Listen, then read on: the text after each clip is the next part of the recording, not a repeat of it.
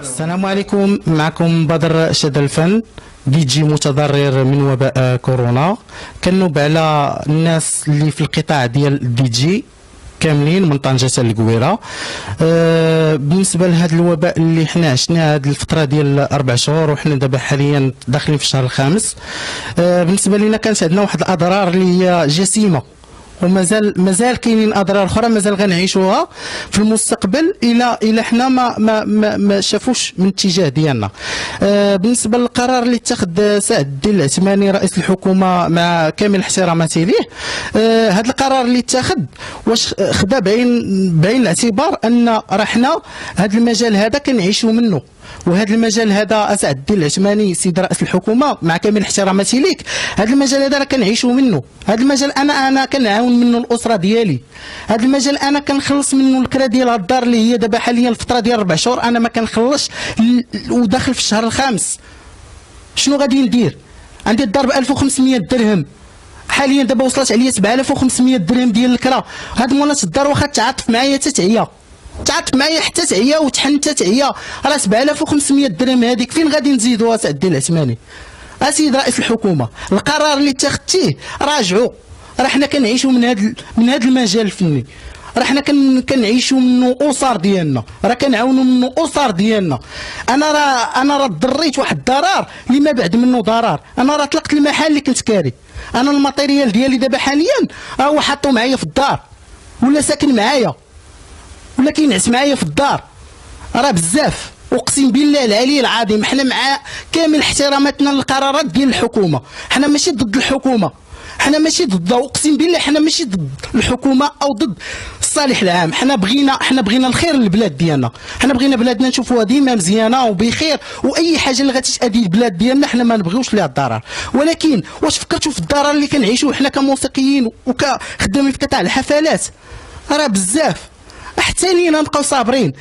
على الاقل على الأقل غير شوفوا من حالنا دعمونا عطيونا شي تعويض. حنا ما بغيناش نخدموا ولكن عطيونا تعويض. حنا مع القرارات ديال الحكومة حنا مع القرارات ديال سعد الدين العثماني. ولكن عطينا تعويض. شوف من حالنا. راه بقات لنا غير السعايه نوليو نسعاوها.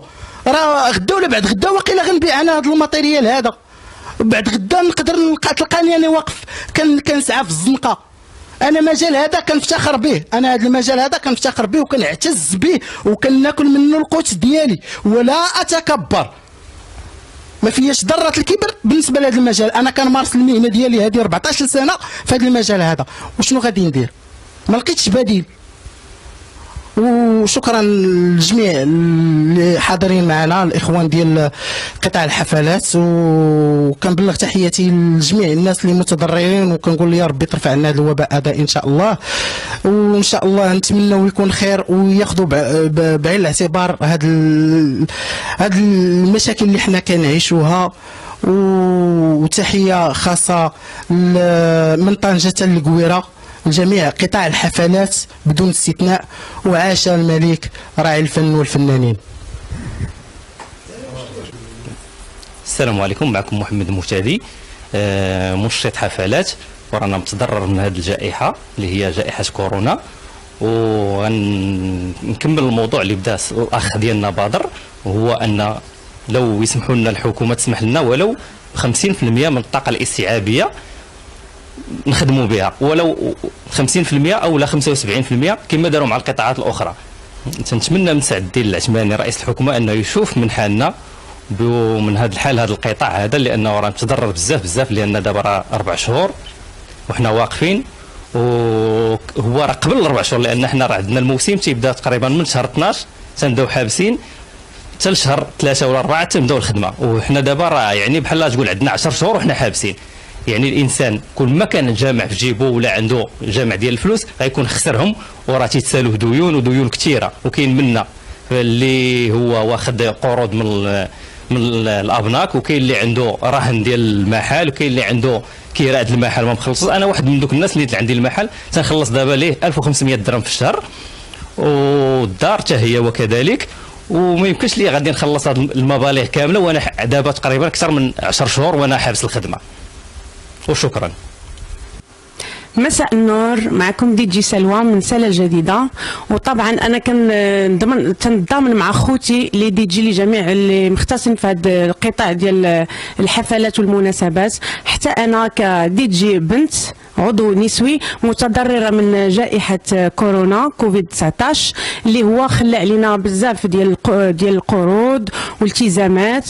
وكنتمنى الحكومة تغير تغير يعني تشوف من حالنا وتغير الرأي ديالها وحنا مستعدين وقابلين بالشروط اللي اللي حط اللي حطت لينا غير أننا خصنا نخدموا سينو إلا كانوا هما رافضين أننا نخدموا لأسباب ما اللي حنا لحد الآن كنتجاهلوها ما عرفناش علاش حيت بحكم مقارنة بأن كنشوفوا آه، يعني القطاعات أخرى سمحوا لهم أنهم يخدموا ويرجعوا للشغل ديالهم إلا القطاع ديالنا اللي مهمش اللي ما هضر فيه حتى شي واحد. حنا من الأوائل اللي حبسنا. ومن الأواخر اللي باقي ما ما, ما يعني ما خلوناش نخدموا يعني لأجل مسمى وحنا اليوم هنا بغينا نوصلوا صوتنا للجهات المعنية اللي هي بغينا أنها صوتنا يوصل لها المهم كما قلت لكم آه، خوتي آه، وكنشكر الاخ بدر بعد اللي اللي اللي سمح لنا باش نعطيو هذه الكلمة ونوصلوا الصوت ديالنا للجهات المعنية. وكنتمنى صوتنا يوصل إن شاء الله بإسمي بإسمي وبإسم جميع اللي دي جي واللي خدامين في هذا القطاع ديال الأفراح والمناسبات. المناسبات بأنني كنقول لكم بأن هذه المهنة هذه راه مهنة يعني يعني عايشين بها عائلات فاتحين بهم ديورهم واخدين بهم كريديات. أنا براسي اللي كنهضر معكم وحدة من النساء اللي تنخدم في الصيف كنتسنى أنا واخدة كريدي يعني مازال واخدة كريدي جديد وشريت به matériel وبغيت نخدم بها الصيف ولكن ملي جيت أنا خصني نخلص كريدي وما استفدتش بال matériel ديالي. يعني أنا حتى أنا راه متضررة بحالي بحال بحالي بحال بحالكم أخوتي. السلام عليكم معكم دي جي يون سلاوي منشط حفلات واعراس أنا الصراحة تصدمت من القرار الاخير اللي خرج به رئيس الحكومة سيد الدين العثماني. بخصوص أن كاع المجالات والقطاعات يستأنفوا العمل ديالهم باستثناء القطاع ديالنا حنايا اللي هو الأعراس.